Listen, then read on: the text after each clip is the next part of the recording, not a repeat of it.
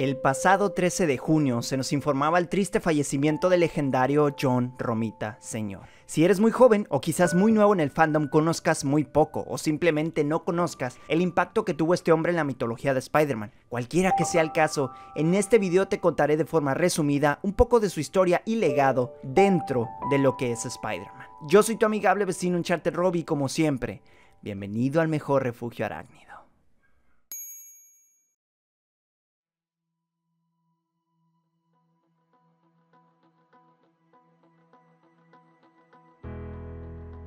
Nacido en Brooklyn el 24 de enero de 1930 y siendo el hijo de padres italianos, John Victor Jassy Romita, mejor conocido como John Romita Sr., es el legendario tercer padre de Spider-Man. John parece que está destinado a ser un gran artista y uno de los más influyentes, pues su preparación artística era más que sofisticada. A los 17 años se graduó de la High School of Industrial Arts, para después tomar su profesión en el rubro de la publicidad, y de ahí pasar a Timely Comics, editorial que terminaría convirtiéndose en la mítica Marvel Comics. Fue en esta editorial, propiedad de Martin Goodman, que comenzó dibujando al Capitán América en los años 50, pero durante la recesión, John se vería forzado a dejar la entonces renombrada Atlas Comics de Martin Goodman para irse con la competencia, DC Comics, donde ilustraba el cómic romántico Young Romance. Durante esta época perfeccionó todavía más su estético y anatómico trazo que era bastante llamativo y cómodo de ver para la época Incluso hoy en día sigue siendo un estilo limpio, agraciado y elegante el que venía perfeccionando esta leyenda.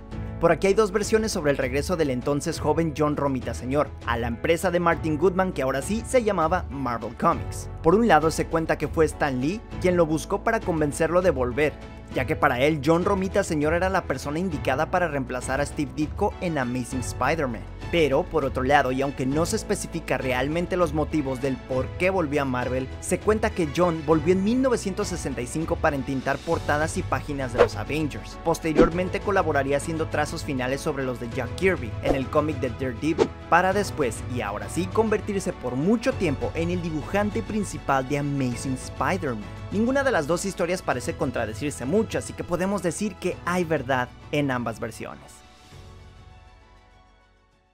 El apodo de Jassy le fue dado por el propio Stan Lee en la época en la que trabajaban juntos en Amazing Spider-Man. Este apodo, según Collins Dictionary, la palabra Jassy quiere decir llamativo, colorido y moderno. Y por supuesto, para mediados de los años 60 y viniendo del arte de Steve Ditko, que ojo, no era para nada malo, por supuesto que resultaba moderno para la época, poniendo ambos estilos de lado a lado.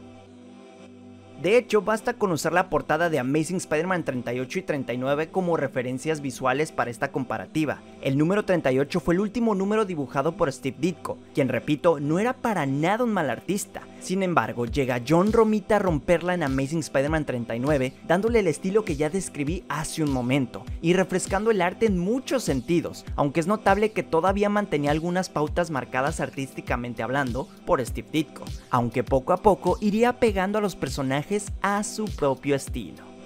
Sin quererlo ni desearlo, John Romita comenzaría aquí la identidad visual definitiva para Spider-Man, dándole un aspecto más consistente al traje, con ojos para Spider-Man más grandes y telarañas más precisas y simétricas, dándole digamos un aspecto más amigable para el trepamuros. También otorgó un trazo más limpio y esa anatomía superheroica Spider-Man con un poco más de músculo. Estas pautas serían respetadas de por vida a la hora de dibujar al arácnido en casi cualquier versión.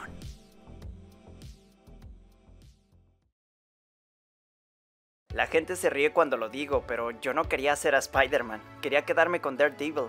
La única razón por la que hice Spider-Man fue porque Stan Lee me lo pidió y sentí que debía ayudar como buen soldado. El estilo de Romita más el guion de Stan Lee rescataron un poco el personaje de Peter Parker de ser eternamente un ratón de laboratorio, para convertirlo en un tipo más encantador, guapo e incluso carismático cuando se lo proponía, y no estaba en medio de la constante tensión de ser Peter Parker y Spider-Man. Aunque la pelirroja favorita de todos realmente apareció por primera vez en Amazing Spider-Man 25, realmente no revelarían su rostro hasta Amazing Spider-Man 50. Este es el primer boceto que John Romita hizo para Mary Jane, que es prácticamente el diseño final que vimos en el cómic ya mencionado. Nuevamente, para acentuar la frescura que Romita le trajo a la serie, nada más cabe resaltar la abismal diferencia que hay entre la vestimenta que Ditko diseñó para Mary Jane y la que terminó portando gracias a los lápices de John Romita. Mientras que Ditko apostó a un estilo más conservador de los años 60, Romita apostó por una vestimenta más casual y relajada de la misma década, salvando así sin querer ni saberlo el look característico de la bellísima Mary Jane Watson. La linda pero caprichosa Gwen Stacy sería todavía más hermosa en su rediseño por Romita, que llegaría en un buen momento para después tener la oportunidad de dibujar a una Gwen más gentil y dulce que compartiría mucho con el joven Peter Parker. Este fue su primer beso en Amazing Spider-Man 59, claro está, de la mano de John Romita Sr.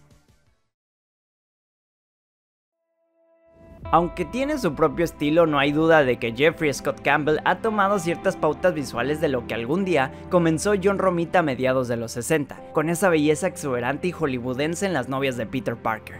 Stanley y Romita hicieron tan buena mancuerna juntos que Amazing Spider-Man se convirtió en el cómic con mejores ventas en todo Marvel, gracias a que se sentía como un cómic más alegre, jovial, pero también dramático y dinámico. Así John trabajaría casi de forma ininterrumpida hasta Amazing Spider-Man 119, donde poco a poco fue tomando el relevo Gil Kane como dibujante y un joven Gary Conway como escritor al mando, que con el tiempo nos daríamos cuenta que sería clave en el desarrollo del mítico Arácnido.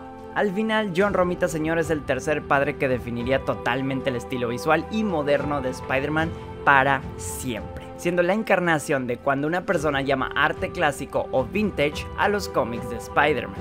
John Romita es el referente por excelencia. No sería hasta el debut de su hijo, John Romita Jr., al mundo de los cómics que se le agregaría el señor a su nombre, para identificar a ambos que, aunque con diferentes estilos, ambos han tenido su repercusión en el medio. Por cierto, como datillo extra, Romita Jr. comenzó dibujando con un estilo bastante similar a su padre, pero con el tiempo, bueno, adoptó el propio estilo. De locos cómo evolucionó, ¿no? Bueno, sea como sea, el legado de Romita se lo queda el propio Romita Señor, quien lamentablemente partió al cielo, como ya te conté, este 13 de junio del 2023 a los 93 años de edad. Sin duda alguna es una leyenda y un pionero de los cómics y siempre será recordado de esa manera. Este es solo un pequeño tributo en formato audiovisual y con propósitos educativos y de entretenimiento para los fans y no tan fans de Spidey. Para que así jamás, jamás se olviden de aquellas personas que hicieron grande al personaje que parece que nació para representarnos en uno y mil aspectos. Creo que no hay forma más optimista de despedirnos que admirando por unos instantes al maestro dibujando a Spider-Man su amigable vecino Uncharted Robbie y nos vemos.